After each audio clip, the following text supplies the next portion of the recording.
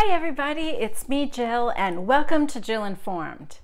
So, I have taken all of your suggestions under advisement and I am still figuring some things out. Having said that, I am actually going to be jumping in on the middle of something, and it's simply because I am watching Celebrity Big Brother and I need someone to talk to about it.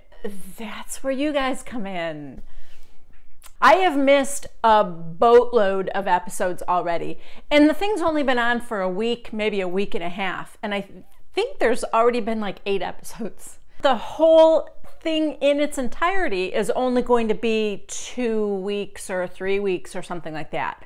So I'm going to just do sort of an end of the week recap of everything that happened so far. What I'm going to do today is recap everything from the beginning until now, and I'm filming this on Friday afternoon. I'm going to try and just get it right out to you guys before it airs again tonight. I mean, this thing, every time you turn around, there's another episode. So I feel like I really need to just jump right in. There are 11 celebrities. To be perfectly honest, I knew seven of them. And I'm not even like super familiar with those seven. But let, let's just go through the list of who is in the house. And this is in no particular order. First, we have Omarosa, the Disney villain of reality TV. She is stunning. The woman's gorgeous from head to toe, and she's pure evil. You may know her from Celebrity Apprentice and then going on to do something in the White House and then get fired from that. Next, we have Brandi Glanville, and I know my Housewife fans know who that is. Brandi, we miss you on Beverly Hills, but just so you know, Dorit is picking up the slack for Cuckoo Crazy. Next, we have Marissa Jaret Winokur. I think that's how you pronounce her name. She's um, Tracy Turnblad from Hairspray. And you know her from a bunch of other million things she does on TV and in plays and stuff like that. She's cute and adorable. Fourth is Shannon Elizabeth. Shannon is from American Pie. She also did Scary Movie. And I would not have known her just to look at her, but I do know those movies and she looked somewhat familiar to me. So she's one of those celebrities that I'm counting as one that I knew even though I don't really know her that well. Next is Ariadna Gutierrez. She is also one that I'm gonna go, yeah, I kind of know. Only because she was Miss Colombia and she is the one that Steve Harvey mistakenly crowned Miss Universe, but he read it wrong or something like that. Yeah. So she ends up getting more fame in the long run than the actual Miss Universe because I mean, does anybody remember who that is? I don't. Number six is Keshia Knight Pulliam. That's Rudy from The Cosby Show. We all remember Rudy. She's adorable as well. Seven is Ross Mathews. I think he was like a PA on one of the talk shows, Jay Leno or somebody. And then he kind of went on, did his own thing. He like hosts different things. He's also a judge on RuPaul's Drag Race. So you, even if you don't know him by name, you would know his face because he's on TV all the time. Number eight is Metta World Peace. I guess he's a Laker. I don't know. I Unfortunately, that has to go into the category of somebody I do not know. My husband says he's really famous, though. Okay. Number nine is Mark McGrath from Sugar Ray. And I don't know, do we know him from anything else? Number 10 is James Maslow. No idea. He's cute. No idea who he is. He was apparently in a show called Big Time Rush and also the band by the same name.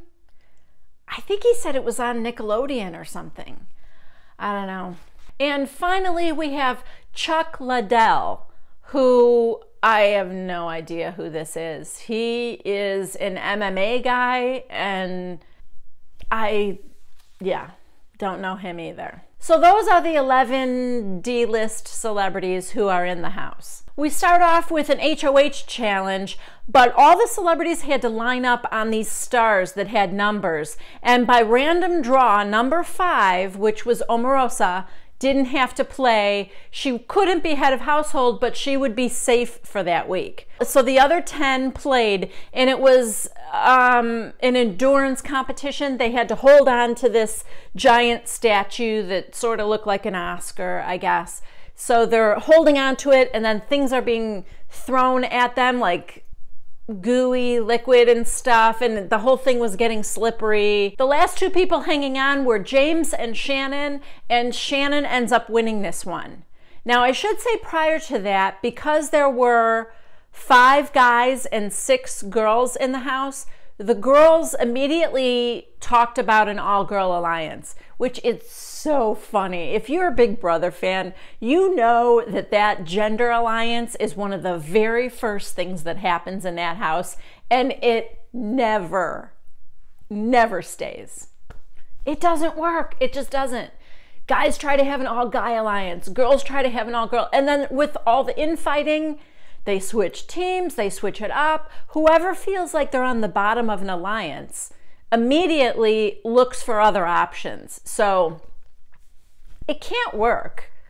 But that doesn't stop the women from trying. I think it was Omarosa's idea at first, and she's trying to get all the women on board. And oh, yeah, for sure. First one out is going to be a guy. So when Shannon won the head of household, all the other women were kind of secretly and maybe not so secretly excited about it. The first little wrench in the plan is that when they walk into the house, then after the competition, there are 11 swag bags sitting on a table. Each one of the celebrities is asked to pick a bag randomly, but they can't open it yet. Then Julie tells them that inside the bag is either going to be swag or it's going to be a card that says recast. Okay, so what happens is if you choose to open your bag, you do it at the nomination ceremony before the HOH has announced her two nominees.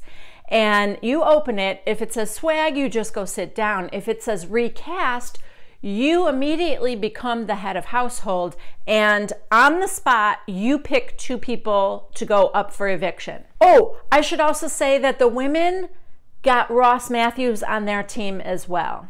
I don't know. But Ross is on with the women's team. So there's a specific time that Big Brother tells you you can go into the diary room and announce whether you want to open your bag or not. If more than one person at the same time wants to open their bag, then it's a random draw whoever gets the opportunity to do it. So the women all decide that, you know, they don't need to open a bag because they're happy with Shannon as HOH.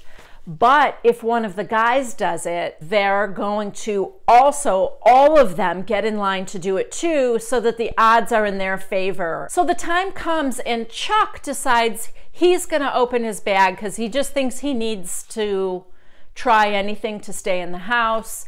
I think the guys realize they're outnumbered and Anyway, so he goes into the diary room to do that, and then all the girls line up after him and Ross. So now it's nomination time and Shannon's got her nominees. And by random draw, it's Keshia who gets the opportunity to open her bag. She opens her bag, it does say recast, so she immediately becomes head of household, and she puts up James and Chuck. With James being the actual target because he's good. He almost won the first HOH, and he's smart and he's good at challenges, so he's a threat. Also, I should say that that first day, James was so obnoxious.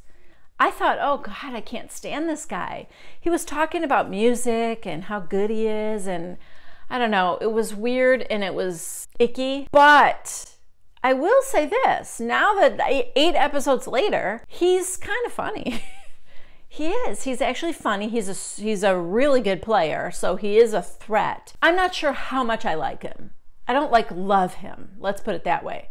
I think he's kind of trying too hard, but he is sort of funny and he's definitely better than he was. He made a really bad first impression on the first night. Okay, so we have the first veto competition and it's the one where you have to like crawl through mud and pick out letters and spell the longest word that you can. They do this on Big Brother all the time. Shannon won because the others had like four letter word, Ariadna didn't even spell a word. Then there was like a six letter word and maybe a seven letter word.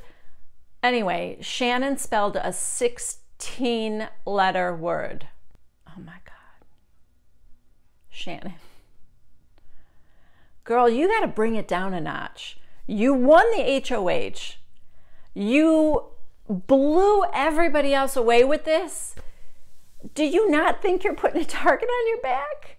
You didn't even have to win this one. But the fact that you did it and you just annihilated everybody else with a 16 letter word, you're supposed to be a Big Brother super fan. I do not understand why you didn't think that might not be the best play. Anyway, Keshia is now the head of household, and they're strategizing after Shannon wins the veto about if she should use the veto or not. Well, she's thinking, of course I shouldn't, because James is our target to get out. But because Mark McGrath said that if he won, he was going to take James off, and he's like kind of James's bro.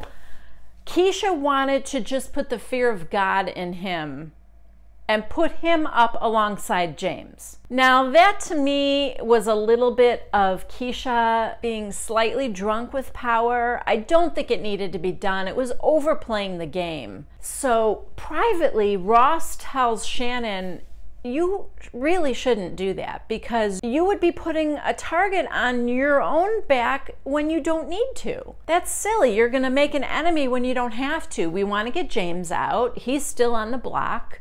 Leave it as it is. Just to put a little fear in Mark isn't worth getting another enemy. So Shannon starts thinking about it and she's like, Yeah, you're right. Then during one of their talks, Shannon now starts thinking that Omarosa and Keshia are kind of bullying her. And she said, You know what?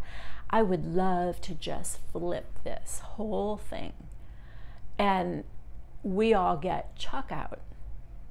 We could work with James. We could, you know, promise him safety. Then, then if he wins, he'll keep us safe.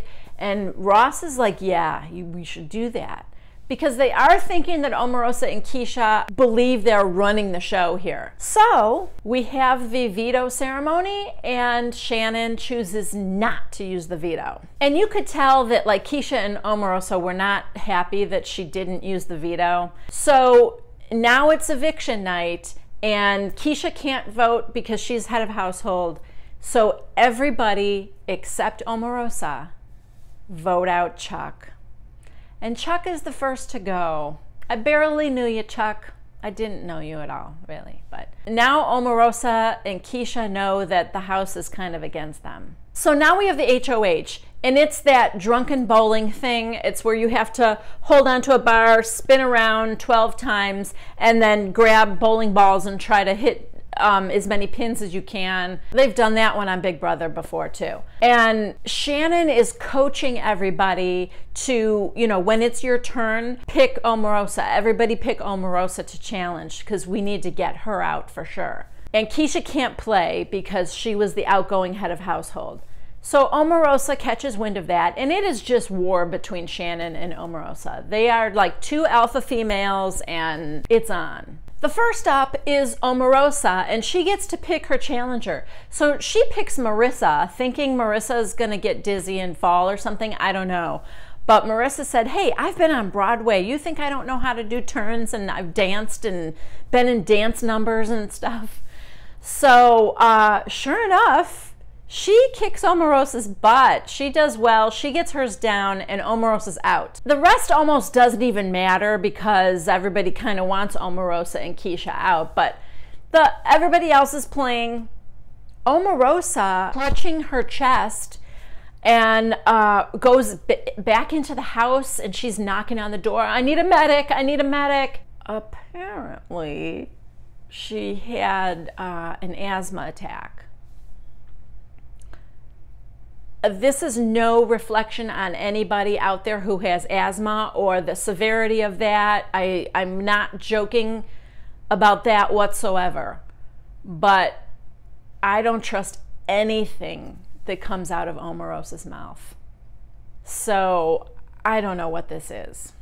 I'm convinced she's not going to come back because it, it, things aren't going her way and I think she quits. Now we're down to just a few for whoever wins head of household and Shannon has convinced James to throw it to Ross because that'll show everybody that you're a team player and you're really on our side. So he does. He throws it to Ross. And now Ross is head of household. Now, Ross wants to make a big move. He is in a four person alliance with Shannon, James, and Marissa. But he's also making other deals, and he and Marissa also kind of know that James and Shannon are super strong, and the two of them were kind of joking about how those two should be the ones to go up next. But he sticks with the plan to put Omarosa and Keshia up on the block. But then I think it's Ari and Brandi who approach Ross and say, We really should get Shannon out. And that's something he's already been thinking about. So the plan now is whoever wins veto will take Keshia down and put Shannon up against Omarosa.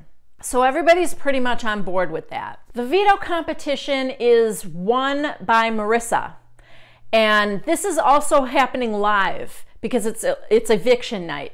So she's they're scrambling around cuz she is I think all ready to take Keshia off the block and put Shannon up, but now we see this like conversation happening with Keshia and she's crying and she's saying please this is not just a game. This is my life. And uh, and i'm like what the heck you don't really know what's going on unless you watch the feeds which i don't because believe me this is enough it's on every night as it is. I don't know how I would have more time in my life to watch the feeds. So I don't know exactly what's going on. And like I said, this is live.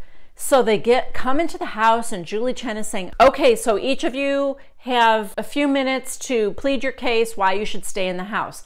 So Keshia stands up. She is begging people to send her home. Please, if there's any compassion in your heart, you will send me home because she is still breastfeeding her baby and her milk is drying up. And oh my gosh, I was I was like heartbroken for her. Although I was thinking, why are you in the house when you have a tiny baby? But that's screwing up everybody's plan because they wanted Shannon out. And then Omarosa steps up and says, you know, please do the right thing for her. okay, that keeps you in the house too, Omarosa. I mean, that's not lost on anybody. And in the end, everybody votes Keshia out. I do just have to keep coming back to the same thing. If that is all your child will eat, and I think Brandi even said this. I question why you came into the Big Brother house then. If you really wanted to win this thing, you knew you were going to be in there for a few weeks. I don't know why. I guess she just thought she could pump, but I don't know. Anyway, Keshia's gone. So now there's another head of household competition, and everybody really wants to make sure that Shannon does not win this one. Ross can't play because he's the outgoing head of household, but everybody else is playing, and this is a mini golf kind of a thing. So the majority of the house just wants to make sure that Shannon doesn't win or that James doesn't win because they do think those two are in cahoots and they're also the most powerful players. And I think they also don't want Metta to win. But that's more because Metta doesn't really know what's going on, and that kind of makes him a wild card. For example, Metta voted Chuck out the week before, but he thought he was voting to have Chuck stay. Yeah, Metta didn't understand the rules. There are, let me just say this these celebrities, about half of them are super fans of Big Brother and they're playing hard. And I'm, I'm really kind of proud of how these celebrities are playing and strategizing. And, you know, they're, they're really into it. The other half, not so much.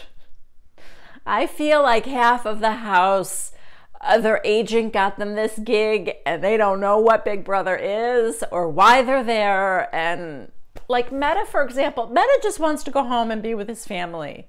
But every time he asks to go home, nobody will let him. nobody will vote him out. And now he's getting angry because he sees that they had compassion for Keshia and not him. So he's kind of angry that they're keeping him in the house. But I mean, it's just so funny. I don't think this guy has ever seen the show before. So it's kind of funny because, like I said, half of the house, they don't really know what they're doing. So they're a little bit afraid to have Metta win and have him make some weird decision. That's all. Anyway, it was a nail biter because by like a tenth of a second, Ari wins the head of household. So everybody is really super excited, although a little too excited, especially when it was Shannon's turn and she didn't beat the time of Ari everyone was like jumping up for joy and screaming like Brandi and Marissa. And I mean, come on, guys, at least play along like you're still on Shannon's team. I don't, I don't know. I don't get it. Some of these people are actors too. I just think they should do a better job. Shannon started to get a little niggling feeling of paranoia, as well she should. But I mean, that was her first little feeling that something wasn't quite right. So anyway, Ariadna is the head of household and she and Brandi, she and Brandi are close. It's kind of cute. She's almost like Brandi's little puppy. They follow each other everywhere. They they both wear their little under eye pads and braid each other's hair and it's sort of cute. But anyway, so she's in the head of household room and, you know, Brandi and Ross and Marissa are in there and they're all strategizing. And now Omarosa knows that Shannon is the target. They let her in on that. They're deciding who to put up. So everyone was thinking that at first they should put up Omarosa and Metta as decoys and backdoor Shannon. Then I guess maybe, the, I don't know, somebody started to say how that was a little dangerous because they were thinking, what if James or somebody wins the veto and he just keeps the nominations the same because he doesn't, he's not in on their plan to get Shannon out. So Ari decides that she really just wants to straight up put Shannon and James on the block. And if if Shannon wins, James will go home. If James wins, Shannon will go home. That way, they're sure to get out at least one of those good players, although Shannon is the target. So, with all the time leading up to the nomination ceremony, Ari is in the head of household room and everyone is surrounding her and they're making sure that either Metta or Omarosa are in the room so that Shannon can't talk strategy with her. They're trying to keep Shannon away from Ari so that she doesn't like talk her out of it or get the sense that something is amiss. So they're just surrounding her with this layer of protection so that Shannon cannot get to her before the nomination ceremony. And Shannon actually goes up there at one point, but Metta's in the room, so she can't talk. And she ends up just leaving, but she's really now, this is the second time that she's feeling a little paranoid and it's getting stronger, and she's pretty sure something fishy's going on. She's a smart woman and she's sensing what's happening. Nobody's really talking to her, so she kind of knows what's going on.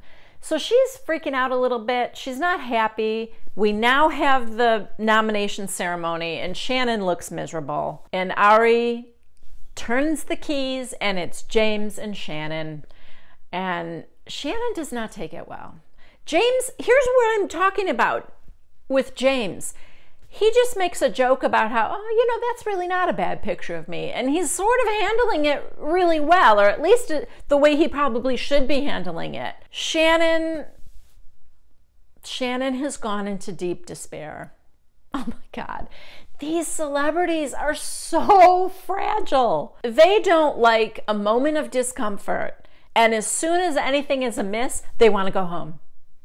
They just want to go home. Metta wants to go home. Keshia wanted to go home. Now Shannon wants to go home. I mean, when things don't go well. Oh, I forgot to say this. Omarosa came back. After she went, she left and went to the hospital. Allegedly, she had an asthma attack, but she came back in the house to her credit. I meant to say that a long time ago. She came back in the house and she that's when she and Keshia were nominated. I meant to say that. Okay, so that's where we're at right now. I'm filming this on Friday. I'm going to try to get this out to you guys like this afternoon. But just know, so I have not seen Friday night's episode yet. So I'm just going to try and catch up with you guys again, maybe next Friday, unless there's something I just absolutely have to talk about. But it is fast paced, it is a whirlwind of stuff happening. This is like Big Brother on steroids because everything is happening so fast. It doesn't it doesn't feel like there's a lot of downtime. For that reason it's actually kind of exciting. And because like I said, a lot of these celebrities really are students of the game and they've got their strategies, they've got their plans. Ari surprised me this week with uh, having a good game plan and and getting in there with it all, you know? So we'll see. All right. Who are you guys hoping wins? Who do you hope goes home? Let me know in the comments down below. If you haven't already, please subscribe to Jill Informed Please give this video a thumbs up if you liked it, and I will see you next time. Bye-bye.